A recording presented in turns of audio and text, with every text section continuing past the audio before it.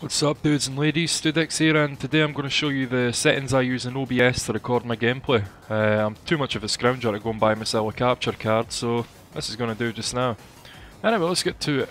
So we're going to want to go to settings, double click settings again, move this over. Uh, the general tab, nothing changed here. Encoding, now I'm using QuickSync. QuickSync is, uh, it comes with Intel CPUs. So if you're way AMD, you're out of luck. Sorry about that. So to enable Quick Sync, what you want to do is go into your BIOS and enable iGPU. Just give it a quick Google. It's everyone's different with their BIOS and motherboard and that. So just Google that how to enable this. Uh, use CBR unchecked. Max bitrate, I've got that on 24,000. To me, that's that's my sweet spot. It's just perfect. I could make it go higher, but 24,000, I'd keep it at that.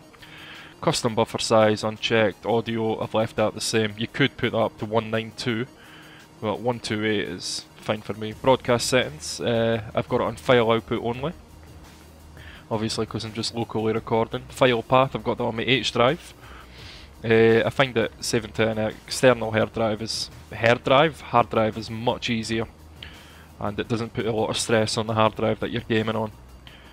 Video, do you want no uh, video adapter, make sure you've got that on your main graphics card and not the one that QuickSync is using. So for me it's a 560 Ti. Yeah, I know it's a bit dated, but still does its job perfectly.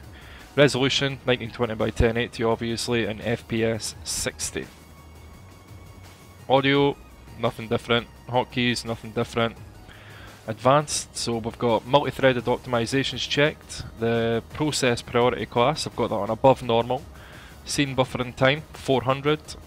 Allow other modifiers on hotkeys checked. Quick sync preset, now I've got this on best quality, but if you find that you're getting the error code saying warning, high encoding, just put this down to 1, 2 or 3. Don't go to balance because it looks, the quality is not that good.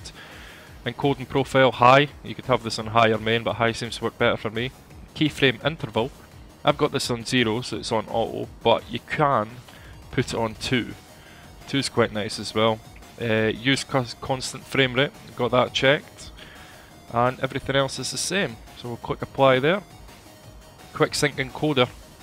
Now I'm not using any of these because I don't know what they mean and I don't want to mess about with them. So I just left that unchecked. And everything seems to be working fine. So just apply that. Okay. And you're ready to go to record in 1080p 60 FPS. Anyway guys, thank you for watching the video, and if you liked it, leave a like, subscribe, and I'll see you later.